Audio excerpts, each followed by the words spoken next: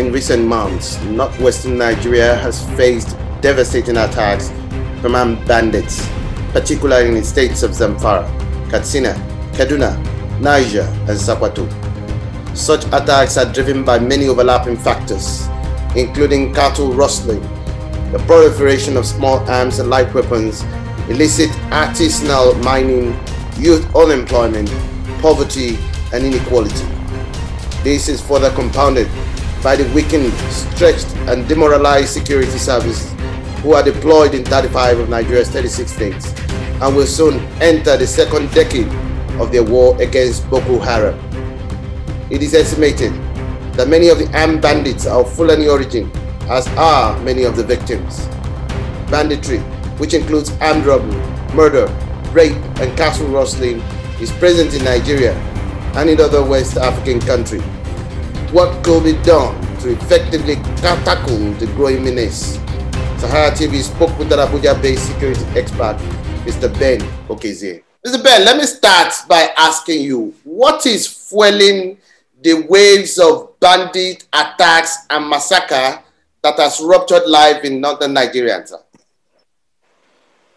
Yeah, thanks a, a lot. Um, you see, uh, when we when when when we started talking of banditry, I had to research a little bit. I have been to that area, uh, most of the states, Zamfara, Kaduna, all those places that uh, we've been having uh, issues of banditry. And you know, many of them have borders with the Northeast, the main uh, uh, place where Boko Haram insurgency has been taking place.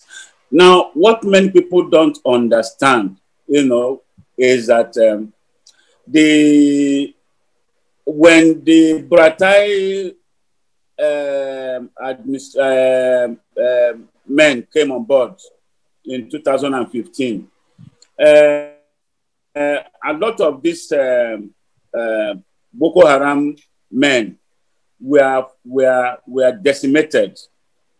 So what many of them did was that they now flushed into the inside, inner states.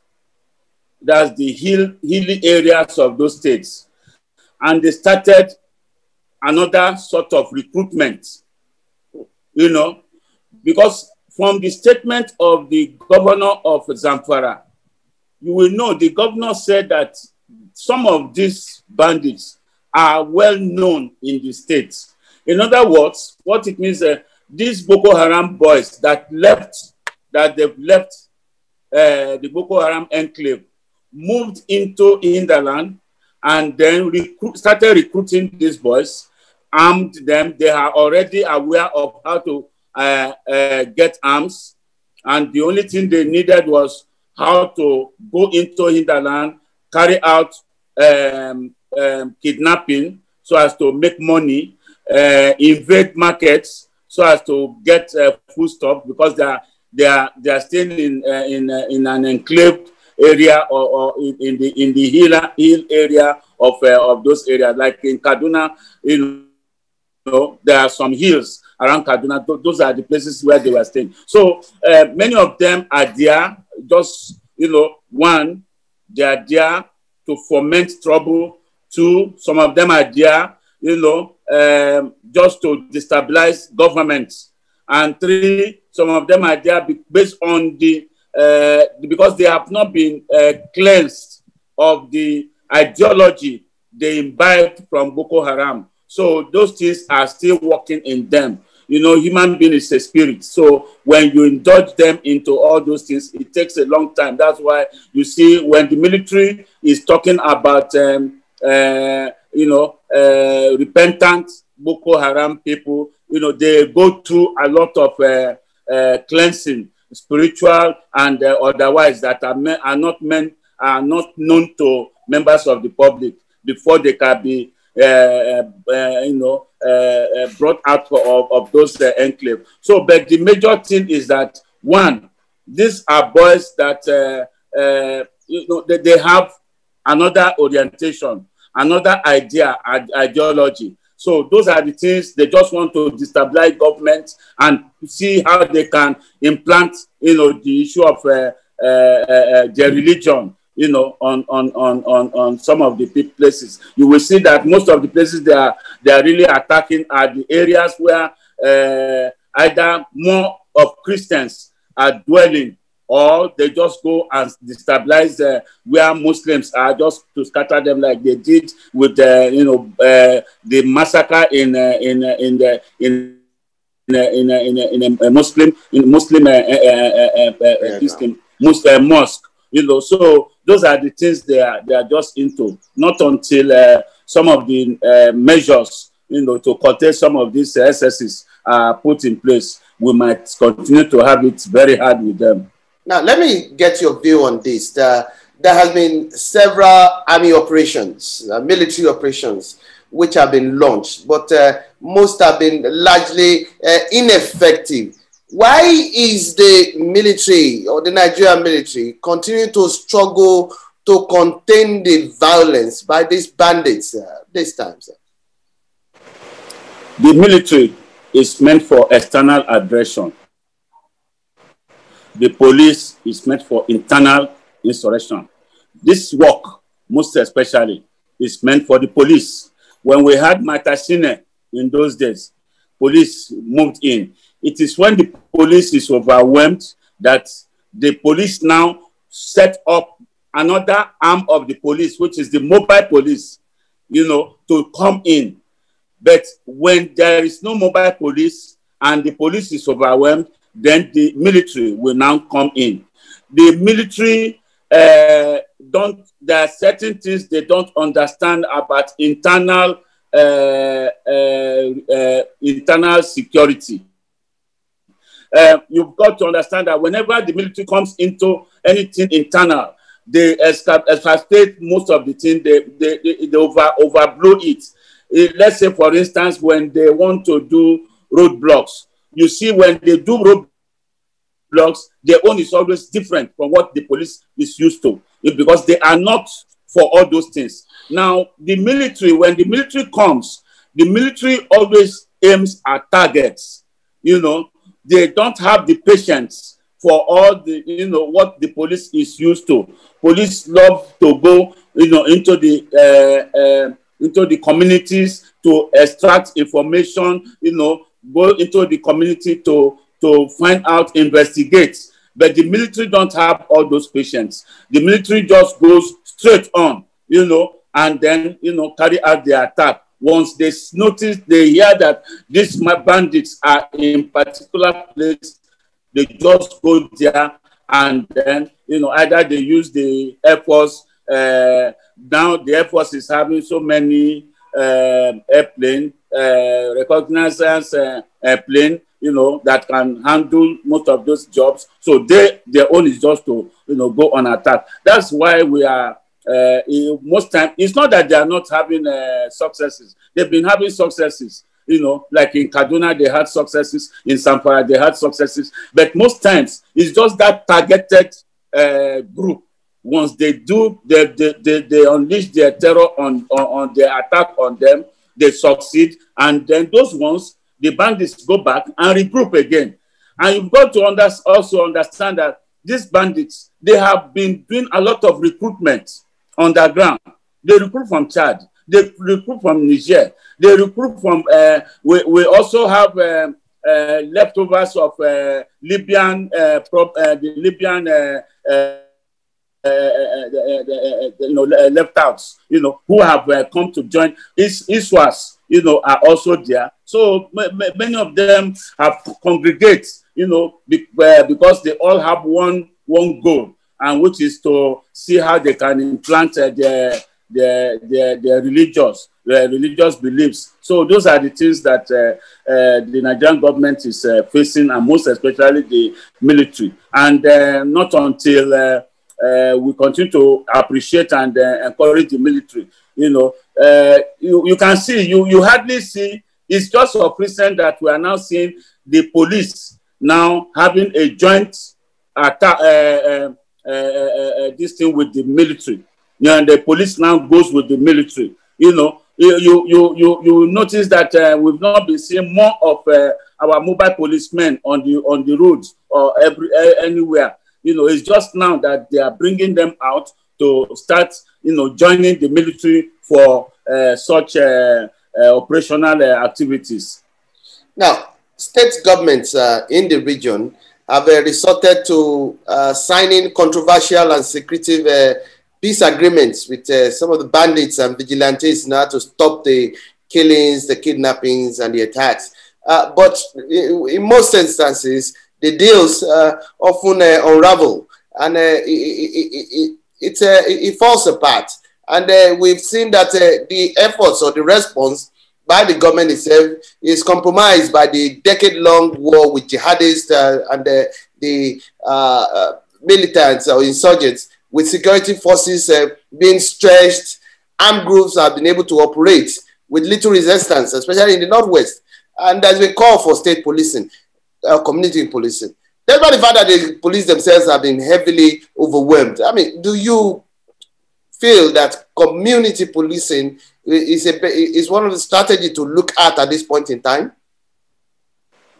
Yeah, you see, um, the issue of uh, the governors having a uh, peace pact with uh, some of these uh, uh bandits. Uh, many of us who are in this industry we have kicked against it. It's, it's, not, it's not the best. It's, uh, they are ill advised and they have been seeing it that the whole thing is boomeranging. That because these are you, you don't you don't negotiate with uh, with with bandits. You don't negotiate with terrorists. You you you you you cow them. You make them to submit to an extent that uh, to a point where they cannot look right or look left for any help. That is when you cow them, and then they will now uh, be subjected to to adhere to your own. Uh, this that's the tactics the military is using. You know, uh, civilians they did not go for any military training. They don't have any military uh, this thing except the what their security advisors are giving them, and some of their security advisors may not be so exposed, you know. So, but the thing is that uh, they found out that uh, from Niger State to Zamfara to all of them that have uh, gone on peace uh, pact with uh, this uh, these boys that they have seen that it, it, has not helped issues because at the end of the day they come back to hunt them again because when you give them peanuts and what they have is they have exhausted it they will come back to look for more again so but nonetheless on the aspect of whether the issue whether the, what they need is uh, um, community policing or state police. I have been one of those advocates uh, of uh, state police. Even the former president IBB have, you know, uh, added his voice to uh, state police. Um, many, many, many, many people have uh, added their voices to that we need state police. One, why do we have need state police? Very simple reason. Well, yes, we know that the Nigerians will, will have a way of uh, circumventing and uh, mis misusing uh, such such uh, noble or novel uh, ideas. But nonetheless, you put it to test and then let it uh, move on. And then where there are problems, you correct it. That's why there's uh, the, the legislative arm and the and the judiciary to help to you know, uh, restructure it very well so that uh, nobody will make will will overuse it for anything because everybody is thinking of uh, politics when there's, there's politics. The uh, uh, the governor in that state will uh, use the, the, that's not that's that, that doesn't make you won't say because a child there are robbers in on the street there are these things on the street that you will not allow your child to go to school you will allow your child to go to bed. You will monitor the child and uh, uh, make sure that uh, you make uh, specific arrangements for the safety of that child, you know, so that he will not be hurt. Nonetheless, um, why we need state police? Let's take, for instance, in 2002, when uh, uh, Boko Haram leader Yusuf uh, uh, uh, Muhammad started, when he started regrouping and grouping young young boys and giving them food and all those things, if we had good, if there was state police, one, the state police apparatus would have been used to know that somebody is, you know, who don't have anything to do, Almajiris is is is uh, is empowering them. They want to know why is he doing this? What for? What for? What purpose? They will have found out all the details about who he is and uh, where is he coming from and all those things. All those things will have been taken uh, into cognizance, and then maybe uh, at, at, the rate, at the stage where the thing, uh, you know, uh, escalated to what it is uh, today, it wouldn't have. The state police will have handled it. The, uh, the state uh, governor will have been fully in charge, not going to be calling IG in in Abuja to come and do or calling the DSS uh, DG to come and do, or calling the army, or calling the president. He is the full security security officer of his state. He will do because he has a, a, a group of uh, security uh, men and women who are well knowledgeable in all these things. So they will they will have uh, uh, given him much information on the what and what the motives of that man is, and it wouldn't have gotten to this stage. That is, you have they will have nipped it in the bud. They will have been very proactive in uh, getting. So, what state police will have to be doing for us is uh, like what we have with this. Uh, uh, what really happened recently. You know, everything will have been taken full. full look at uh, the Lagos State uh, governor going hard to go to Abuja to go and be report. He is fully in charge. He is the is the chief security officer of the of the state. He will be telling the commissioner what to do, not a situation where he will tell the commissioner something and the commissioner will have to go to Abuja to seek uh, advice. Might be the advice uh, he will get from Abuja will be not in, in tandem with what the governor is saying, and he will not obey the governor. It will not be like that. So the governor will be fully in charge. So anything that happens will be. That's why we need a state police. All right. Uh, let me get you. Let us get you. What do you say, as an expert, can be done to improve effective community policing mechanisms that is capable of addressing the hinterland peculiar security challenges that we have? You see, uh, the state police is like uh, uh, the, mo- the mother hen the community policing is like the egg. Uh, you, you, you can't do community policing without state police. And you can't do state police without community policing. Okay. Com- community policing will assist state police, you know, in achieving its proper uh, aim and objective. Community policing is not what we are seeing now that you are giving people uniform, you are you you are now uh, training them in uh, security. No, community policing is the community assisting the police. That is what it means. You just go to a, a, a, every community, talk to them about what it means to police their community, what and what they should look out for what are, are what they should observe. Let me give you an example. This is community policing.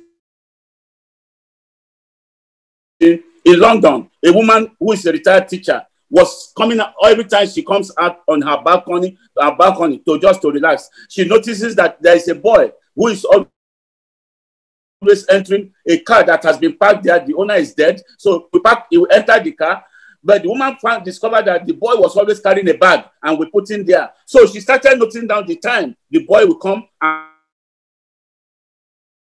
and put the bag, and the time the boy would come and take the bag. And they found out that, that they were a, he was a, uh, a, uh, an appendage of a, a, gang, a gang robbery. She picked the phone and called the uh, nine, uh, 199 and immediately they came they found out they, they waited for the boy immediately he came they arrested him and traced him only to find out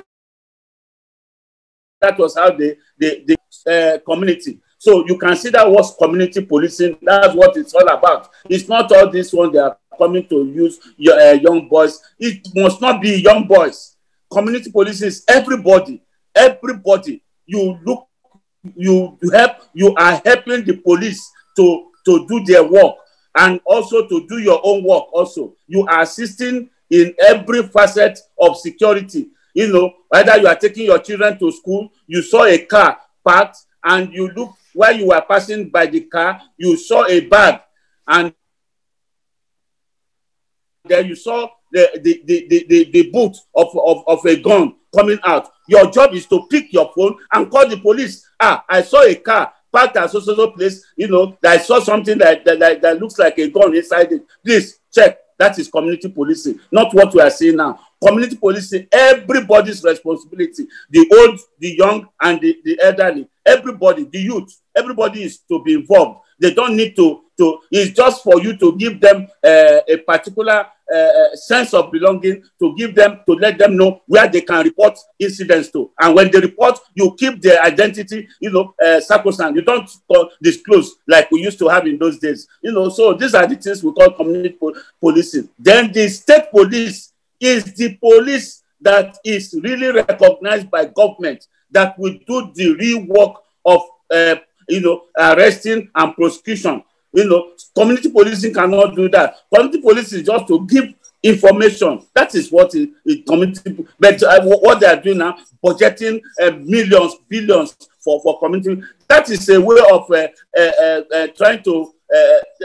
let, let me not let me not be too deep, but it's, it's it has corrupt tendencies you know following it if you follow what community policing is in other countries you will see that it is just you know to assist the uh, the regular police, the conventional police to do their work and make it much much easier so that they can get much information about the uh, the the activities of criminals. Finish. Thank you very much, Mr. Ben Okezie. We appreciate your insightful analysis and the contributions as far as this issue is concerned.